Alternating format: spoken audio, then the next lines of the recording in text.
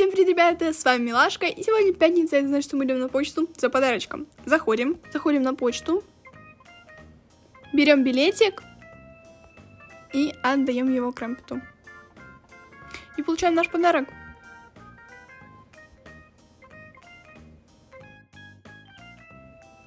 Открываем. О, здесь у нас просто вот такой вот цветочек. Возможно, этот цветочек как-то связан с обновлением, хотя упаковка была не золотая, так что думаю, что нет.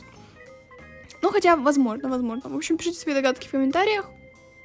Ну, по маленькому тизеру, который нам давали разработчики, пока что ничего не понятно.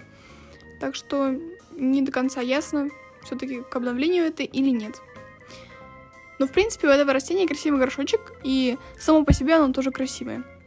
Давайте уберем его на полочку.